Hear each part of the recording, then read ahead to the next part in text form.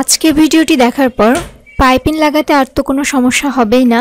আর এত সহজভাবে আমি আপনাদের সঙ্গে শেয়ার করব আজকে পাইপিং লাগানোর নিয়মটি। যারা একদম সেলাইয়ের কাজে নতুন, তারা যদি লাস্ট পর্যন্ত ভিডিওটি দেখেন, দেখার সাথে সাথেই কিন্তু আপনারা এই পাইপিং লাগানোর যে একটি কঠিন কাজ, সেটি কিন্তু খুব সহজেই করতে পারবেন। আসসালামু আলাইকুম, আমি আজকে আপনাদের সঙ্গে দুটি, দুই রকম নিয়মে পাইপিং লাগিয়ে দেখাবো। আর যদি ভিডিওটি ভালো লেগে থাকে, আমার চ্যানেলটিকে সাবস্ক্রাইব করার কথা বলবেন না, আর অবশ্যই কিন্তু নতুন নতুন ভিডিও দেখার জন্য আমার চ্যানেলটির সাথে থাকবেন। তো আমি এখানে একটি জামার কাপড় কাটিং করে নিয়েছি, আর কামিজ কীভাবে কাটিং করতে হয় সেই ভিডিওটি তো অলরেডি আপলোড করাই আছে আমার চ্যানেলে। যারা এখনও দেখেননি ভিডিওগুলো, অবশ্যই কিন্তু ভিডিওগুলো দেখে নেবেন। তো আমি এখানে কাপড়টিকে মাঝখান দিয়ে ভাঁজ করে দুই পাট করে নিয়েছি। আমি এখানে আর্মহোলের সাইড কাটিং করে নিয়েছি। আমি এখন শুধুমাত্র গলার সাইডটুকু কাটিং করে নিব। তো আমি এখানে গলার চওড়া দিচ্ছি, আড়াই ইঞ্চি পরিমাণ। আপনারা গলার চওড়া তিন ইঞ্চি পরিমাণ রাখতে পারবেন, ঠিক আছে? এবং এখানে গলার লম্বা নিচ্ছি, সাড়ে চার ইঞ্চি পরিমাণ। এবং এই সাইড থেকেও কিন্তু আড়াই ইঞ্চিতে দাগ কাটতে হবে এবং এভাবে একটি বক্স বানিয়ে নিতে হবে।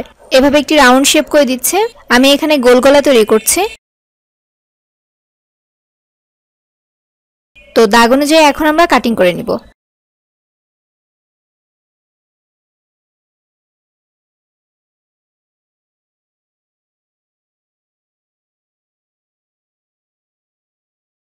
এখন আমরা একটি পাইপিনের কাপড় কাটিং করে নিব। আর পাইপিনের কাপড়টি সবসময় বাঁকা করে কাটতে হয়। তো দেখুন, এটি হচ্ছে আমাদের কাপড়টির সোজা সাইড তাই না? তো কাপড়টিকে আমি এভাবে বাঁকা করে নিচ্ছি। তো এখানে আমি কাপড়টির চড়া নিচ্ছি, প্রায় দুই ইঞ্চি পরিমাণ। তো দুই সাইডে কিন্তু দুই ইঞ্চিতে দাগ কেটে নিয়েছি।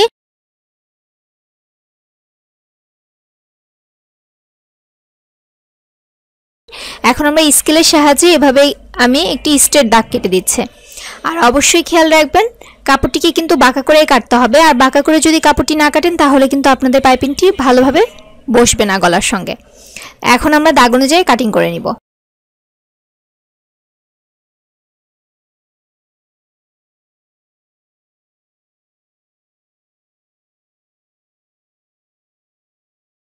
তো পাইপিনের কাপড়টি যখন আপনাদের কাটা হয়ে যাবে, তখন দেখবেন যে পাইপিনের কাপড়টি যখন আপনারা এভাবে টানবেন, তখন দেখবেন যে পাইপিনের কাপড়টি বলে যাচ্ছে। তখনই বুঝবেন যে আপনাদের পাইপিনের কাপড়টি পারফেক্টভাবে কাটিং করা হয়েছে।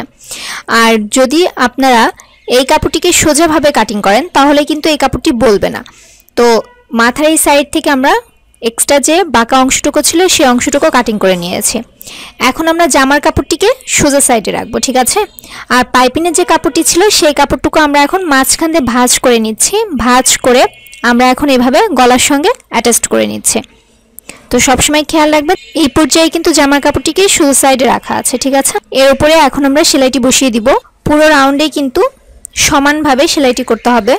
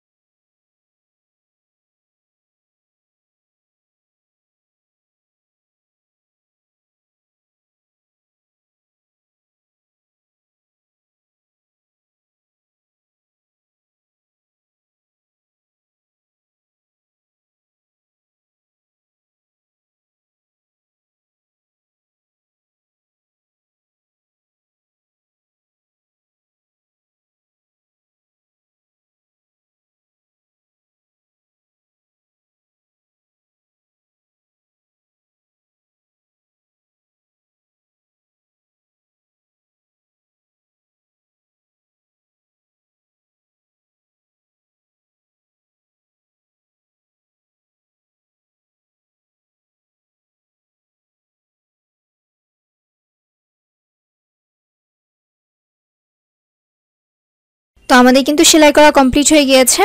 এখন আমরা অতিরিক্ত যে কাপড়টুকু ছিল, সেই কাপড়টুকু এখন আমরা কেটে ফেলব। তো নখ দিয়ে এভাবে ঘষে নিতে হবে, এতে করে আমাদের ফিনিশিংটি ভালো হবে।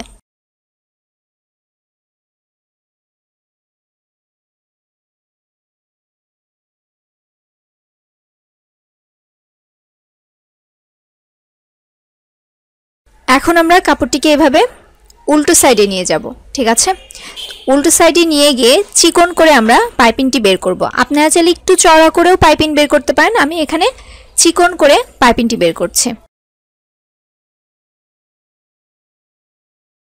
এখন আমরা এর উপরে একটি সেলাই বসিয়ে দিব। তবে খেয়াল রাখবেন পাইপিনের ওপরে কিন্তু সেলাইটি দেওয়া যাবে না। আমরা জামার কাপড়টির ওপরে সেলাইটি দিব, ঠিক আছে? আর সেলাইটি সবসময় আস্তে আস্তে করার জন্য চেষ্টা করবেন, তাহলে ফিনিশিংটি ভালো হবে।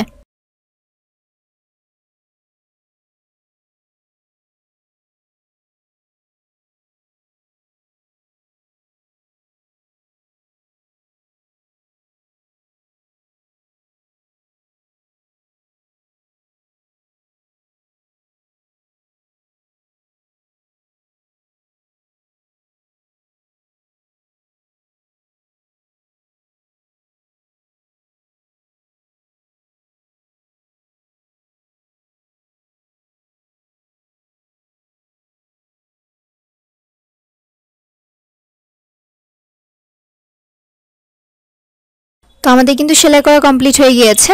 দেখুন কতটা ফিনিশিংভাবে আমাদের সেলাইটি হয়েছে। আর আপনারা কি আপনারা যদি এই নিয়মে কামিজের গলায় পাইপিন বসান, তাহলে কিন্তু আপনাদের কাজটি খুব সুন্দর হবে।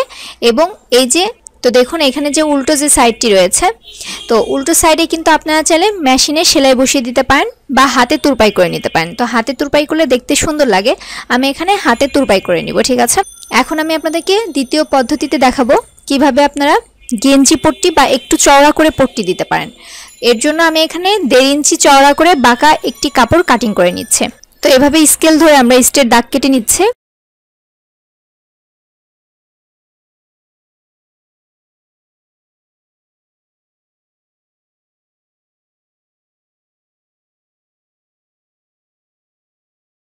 এখন যে পট্টিটা আমরা তৈরি করব, এই ক্ষেত্রে কিন্তু আমাদের জামার কাপড়টিকে উল্টো সাইডে রাখতে হবে। আর পাইপিনের কাপড়টিকে আমরা জামার কাপড়টির ওপরে বসিয়ে পুরো রাউন্ডে একটি সেলাই বসিয়ে দিব।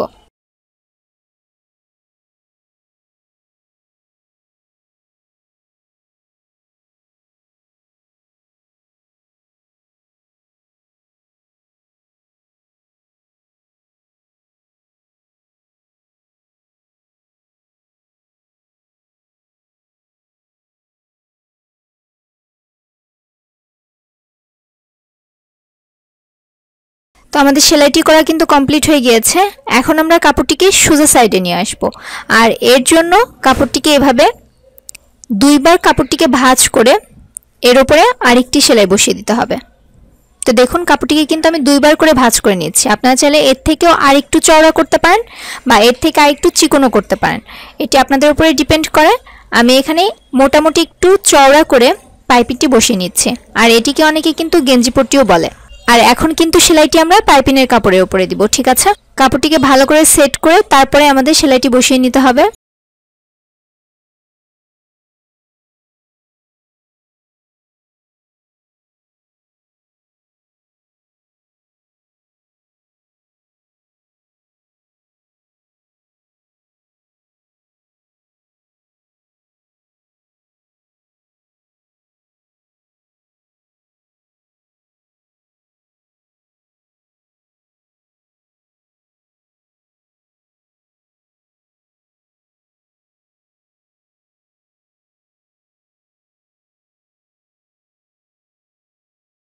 তো দেখুন, আমাদের কিন্তু পাইপিংটি লাগানো একদম কমপ্লিট হয়ে গিয়েছে।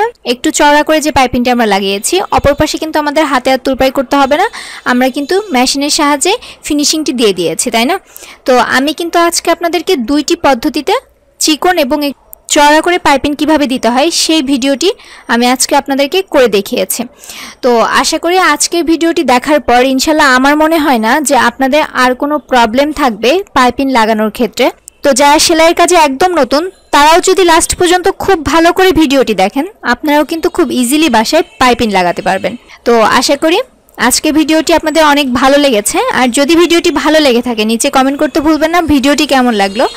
আর অবশ্যই আমার চ্যানেলটির সাথে থাক, একদম প্রথম থেকে সেলাই কাজ যারা শিখতে চান, আমার আরও একটি চ্যানেল আছে, সেই চ্যানেলটির নাম হচ্ছে সেলাই স্কুল। তো আপনারা চাইলে কিন্তু সে চ্যানেলটি কিন্তু ভিজিট করে আসতে পারেন। আমি আপনাদের জন্য ডিসক্রিপশন বক্সে লিঙ্কটি দিয়ে দিব। আর আমার আরও একটি গ্রুপ আছে, সেটি হচ্ছে এসো সেলাই শিখি। আমি দুটি লিঙ্কই নিচে ডিসক্রিপশন বক্সে বা কমেন্ট সেকশনে দিয়ে দিব। আপনারা যারা যারা জয়েন হতে চান লিঙ্কে ক্লিক করলে কিন্তু আমার গ্রুপ এবং আমার আরেকটি যে চ্যানেল রয়েছে, সেটি কিন্তু ওপেন হয়ে যাবে। আজকে এই পর্যন্তই। সবাই ভালো থাকবেন, সুস্থ থাকবেন, নিরাপদে থাকবেন এবং আমার জন্য দোয়া করবেন। ধন্যবাদ।